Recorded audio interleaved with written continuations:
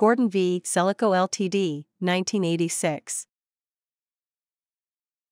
The claimant purchased a long lease of a flat from the first defendant and of which the second defendant was the managing agent. The flats were already in poor repair at the time of the purchase, and subsequently, the second defendant made no attempts to fulfill its maintenance obligations. The building was ultimately found to be badly affected by dry rot, and the local authority served a dangerous structure notice.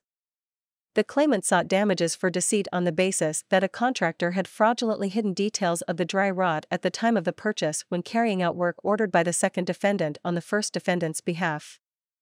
This claim was successful at first instance, and the judge also found that the defendants were both in breach of their maintenance obligations under the Housing Act 1974.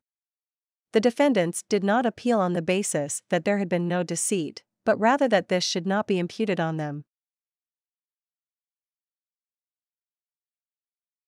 The issue in this context was whether the deceit of the contractor instructed and employed by the defendants could be imputed on them.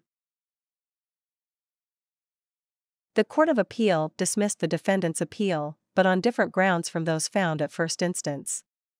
The second defendant had become a party to the contractor's fraudulent misrepresentation as a result of its controlling shareholding in the property, and the authority for this was conferred on the second defendant by the first.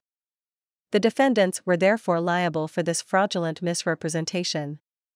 The defendants were also found to be in breach of their maintenance obligations under the lease. The court ordered damages in respect of both areas of the claim, together with the making of orders for specific performance to be worked out by the Chief Chancery Master.